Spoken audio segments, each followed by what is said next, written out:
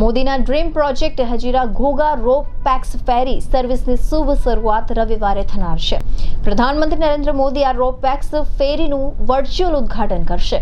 Ro pax ફેરીનું હાલ online booking ચાલી રહ્યું છે. શરૂઆતના ચોવીસ કલાકમાં જ આડત્રીસો યાત્રી અને સત્તરસો વાહનનું બુકિંગ થયું હોવાનું જાણવા મળ્યું છે. ગતરોજ રોપેક્સ ફેરીની યોજાયેલી ટ્રાયલમાં જ ફેલ થઈ ગઈ હતી. મુસાફરી ચાર કલાકની જગ્યાએ નવ કલાકમાં પૂર્ણ થઈ હતી. મધદરિયે જહાજના ઇલેક્ટ્રિક સર્કિટમાં ખામી આવવાથી સાથે એન્જિનની એરિંગમાં પણ લીકેજ થતાં રોપેક્સ ધીમી પડી ગઈ હતી. રોપેક્સ ભાવનગરના ઘોઘાથી સવારના નવ વાગે ઉપડી હતી અને સુરતના હજીરા બપોરના એક વાગે પહોંચવાની હતી.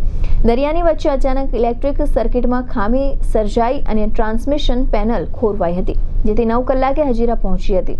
સુરતથી સૌરાષ્ટ્ર જવા માટે દસથી બાર કલાકની માર્ગ મુસાફરી કરવી પડે છે.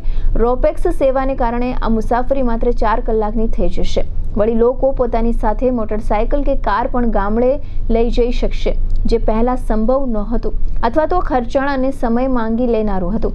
આમ, આ સેવા સૌરાષ્ટ્રના લોકો માટે આશીર્વાદરૂપ બનશે.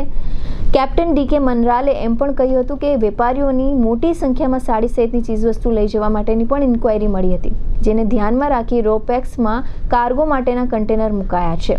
આઠમી નવેમ્બરથી રોરો પેક્સનો પ્રારંભ થયા બાદ રાજ્ય સરકારના આદેશથી સુરત મહાનગરપાલિકા બીઆરટીએસ અને સિટી બસ શરૂ કરવાની છે, જે બસ અડાજણથી હજીરા પોર્ટ સુધીની હશે, એવું કેપ્ટન ડીકે મનરાલે જણાવ્યું હતું.